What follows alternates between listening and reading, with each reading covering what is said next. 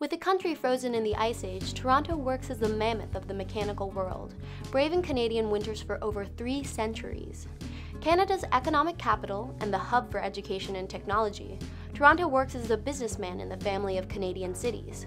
But beyond its metallic gray exterior, colorful cultures lay within, with nationalities from all over the globe traversing this well known city. Though business supersedes boho in this modern town, a flock of happy hippies and artistic eccentricity can still be found in the city's cubbyholes every so often. This clean, environmentally conscious metropolis suggests that sustainable cities are not the oxymorons we believe them to be. I decided to revisit this city after receiving an invitation to join a charity event for the Caribbean Children Foundation, curious to see if there are pieces of me left in the city that was once my birthplace. Hello, everyone, and welcome back to another episode of Vlogging Jude. My name is Jude, and today we are going to be traveling to Toronto, one of the few Canadian cities that rival the megacities of Chicago and New York. There, we will explore some of the main attractions, as well as the top vegan restaurant in the downtown area. However, diverting from this tourist tango, we will dance to a beat of our own and discuss what it means to help others and how helping others can inherently help yourself. In the silhouette of Toronto's skyscape, the pin of the CN Tower blinks like a heart monitor, keeping time to the heartbeat of downtown. The CN Tower functions as a communications and observation tower that was originally built in 1976. The CN in the CN Tower stands for Canadian National, the railway company that built this colossal construction on former railway lands. For over 32 years, it was the world's tallest freestanding structure and is now one of the seven wonders of the world by the American Society of Civil Engineers. Not bad for a country known for little more than maple syrup and good table manners. Unlike the Empire State Building filled with stagnant air and tight lines, the waiting experience at the CN Tower is much more pleasant, with a clean, large space for visitors to wait and complain about said wait. The CN Tower also provides live entertainment while you wait, allowing toddler troll half-breeds to be distracted for at least a few minutes. At 553 meters high, my nihilism quickly dissolved into enchantment as I soaked in cinematic panoramics of my hometown. Children and adults alike cuddled and crawled over the glass floor, confident in the invincibility of North American engineering. My mother, however, had her doubts, sitting cross legged on the glass with an eternal scream sparkling in her eyes.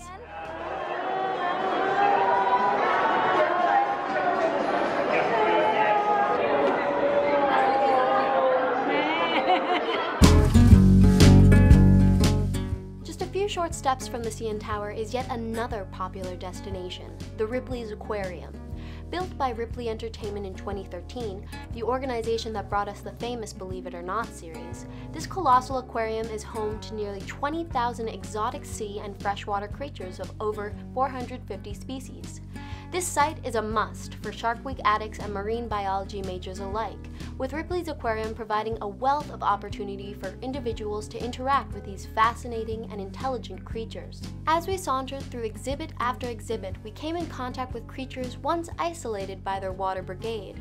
The facility does a fantastic job in providing important and interesting information on each and every species that truly pique your interest as to what other mysteries lie within this speck of Earth. Ripley seeks to recreate the ecosystem these creatures would have normally lived in if it were not under attack by human carelessness. Ripley's is even approved by the well-known, sometimes notorious animal rights group PETA. Ripley's also provides many educational programs for children and teenagers interested in pursuing marine biology or environmental science. Though zoos and circuses multiply throughout society like cockroaches, it is comforting to know that there are organizations like Ripley Entertainment that put morality over money. Hey, how's it going? Oh, Lord. Balls? Balls, like little balls. They can't have balls like. Stop! Stop pointing out the fish genitalia. No, but that's what I'm showing you. Though most describe veganism in plates of tasteless tofu chunks and preachy sermons, Planta Toronto transforms veganism into the idea that saving the lives of animals can be trendy and tasty. Though its concrete block exterior does not have the striking appearance of urban chic, a trip through its glass doors dissipates any skepticism.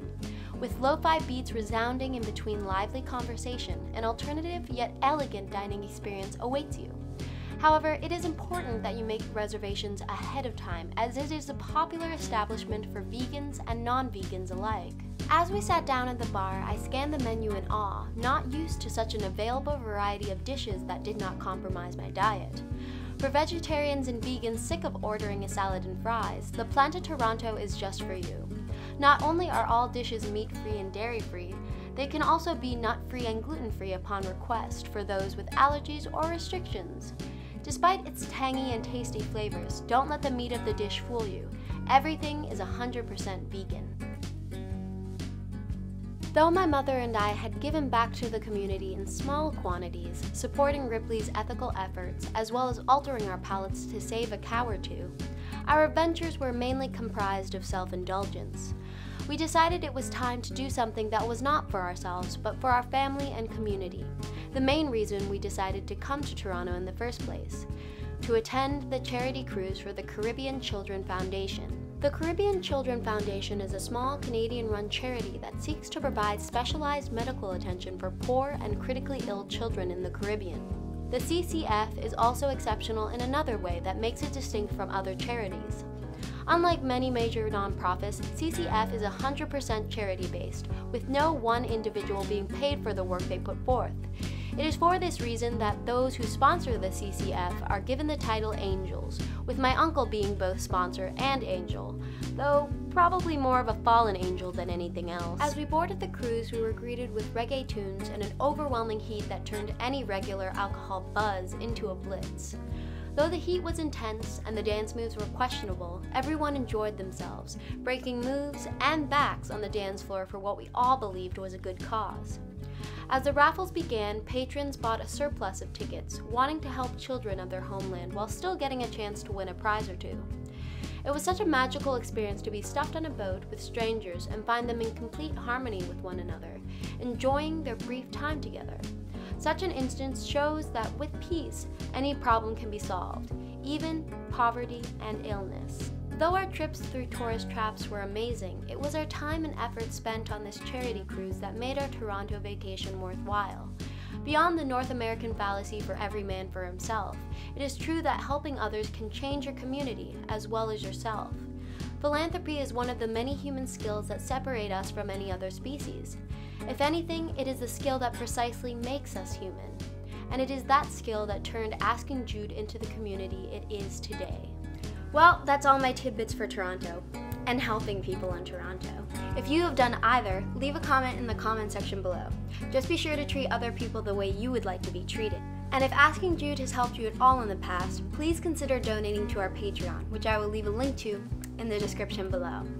It's your donations that keep the Asking Jude community alive and make it the awesome safe space that it is today. Anyway, stay safe, stay kind, and stay strong. Bye. Okay.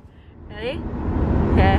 Look like you're in pain. Oh, you, me? you, you. Okay, you. what do I want? No, you just like lean back and be, be. No, you. You're looking like you're you're in, you're not you're not fully conscious.